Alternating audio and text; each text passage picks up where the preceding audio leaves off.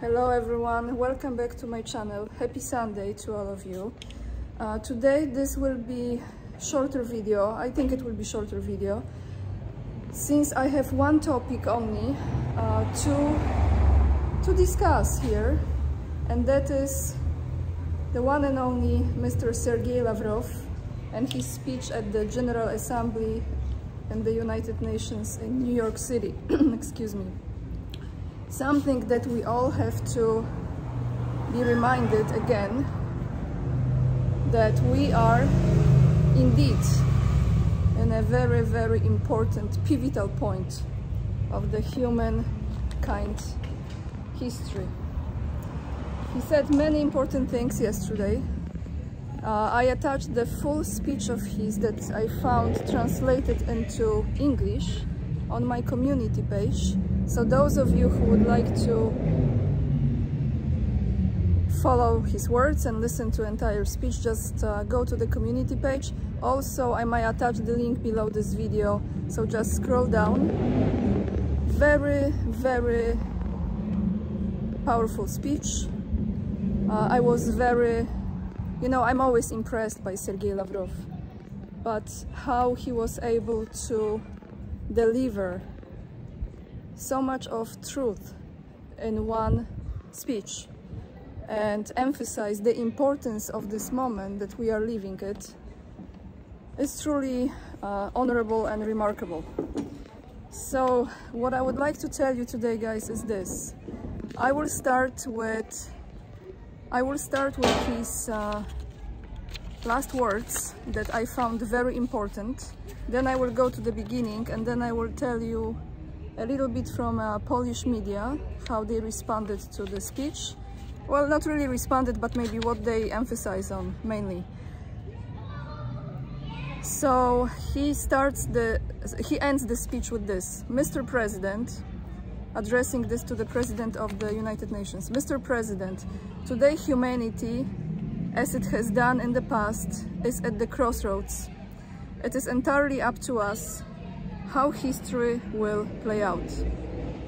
It is in our sure interest to prevent a downward spiral into large-scale war, to prevent the final collapse of the mechanism, mechanisms for international cooperation that we put into place by our predecessors. I will start here, then it's another part. Um, when he was saying this at the end, I had very strong sense that reminded me about this uh, spiritual war we are in. And we are really in a breaking point right now because we can shift into so many timelines. We can create so many realities from here. It's very um, it's even hard to put into words how important this moment is because every decision from now on can create completely different future and reality for humankind. And I feel that energy very strongly and the,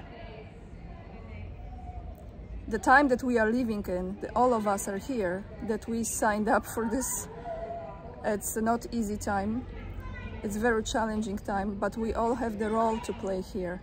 I know this is strange maybe what I'm saying to some of you. It's Sunday, usually Sundays are free-flowing videos that I create. We have to remember that we can all participate in holding the energy of peace and stability, not distraction. Some things has to fall apart, but it does not have to involve that of people and of civilization. I hope you understand what I'm trying to say here. We are very important here on this platform to All of you guys who are watching me, you bring so much energy into this, good energy, and uh, you spread love and you spread peace. This is what we have to do. Those are people who we might never meet in person, like Mr. Lavrov, like people who are fighting this fight with evil. And you might never meet them, you might never shake their hand. Maybe you will. Wonderful, fantastic.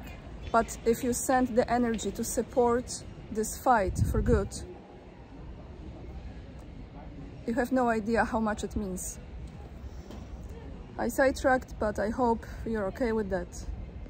He continues, if we want peace and prosperity based on, equ on equality and solidarity, then leaders have a particular responsibility to achieve compromise when designing our common future for our common good. Those are the words actually from Antonio Guterres, who is the Secretary General of the United Nations and Sergei Lavrov was mentioning this, was bringing this, uh, those words uh, up. And he continued, Lavrov, this is an excellent response, those that quote, to those who divide the world up into democracy and autocracies and dictate the more colonial rules to others. The beginning of his speech had this part. There is a new world order being born. Our future is being shaped by a struggle, a struggle between the global majority in favor of a fairer distribution of global benefits, that part of the world, BRICS, and civilized diversity and between the few. So we have the BRICS and between the few who wield neo-colonial methods of uh, sorry, neo-colonial methods in order to maintain their domination, which is slipping through their hands. The collective West has a calling card and it has long been to reject the principle of equality and their total inability to reach agreement, being used to looking down at the end of the world.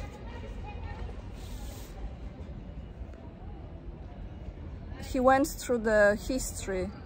Um, it started with, I think, 1945, but he was also talking about the level of support that the West gives to Nazis.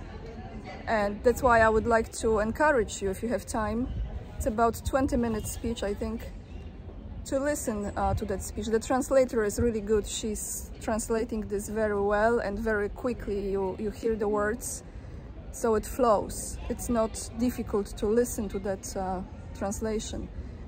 Very, very powerful speech he gave. And in uh, Polish media, I came across this, what they emphasize on his speech.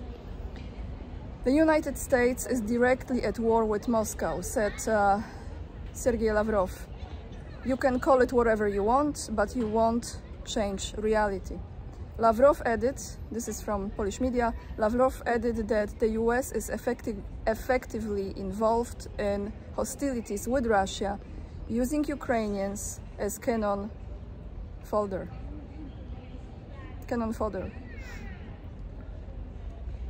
Moreover, Lavrov assessed that it is the Western countries that provoke and lead a war against Russia.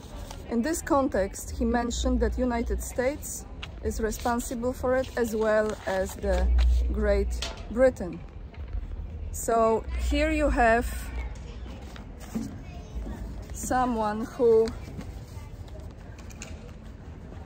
in such a classy way.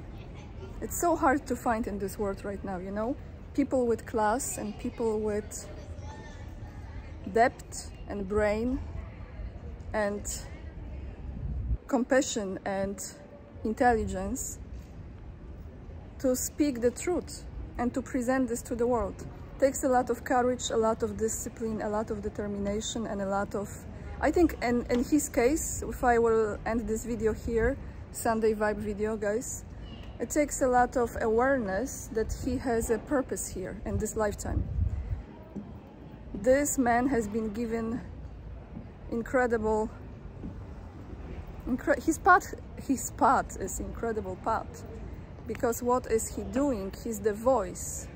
He's the voice for millions and millions, hundreds of millions of people around the world. Billions, actually, you can say. Billions of people to hold this energy of not bending down, standing in your truth, expressing this to others and being criticized by that, having that evil energy coming on, one has to know that he is protected by God that no weapon formed against him will ever prosper because he represents the country. And I believe Russia's role in this time in human history is unlike any other country. I really do. It doesn't mean that every citizen who lives in Russia is a perfect man. No, there is evil there too. Someone actually put this in the comments a while ago on my Instagram. They said why I idolize Russia so much. I don't idolize Russia. Why I like Russia so much, like if everything is perfect there, it's not, it's not true.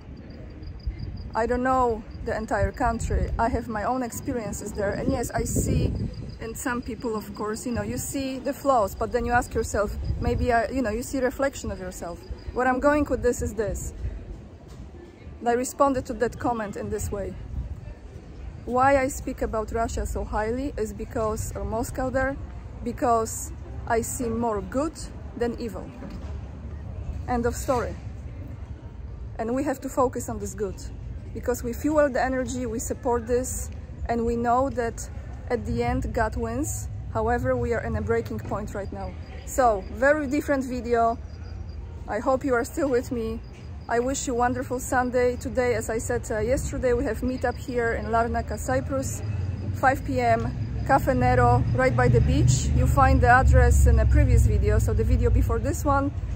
Yeah, those who can come, thank you so much for your time today, that you're willing to meet me in person. I, I'm looking forward to meet you and wish you a great day. All the links to find me, my locals community, Instagram, Rumble, uh, and as well as my mailing list you find down below this video. Lots of love everyone and remember we are the leading edge and we are saving humanity. Bye guys!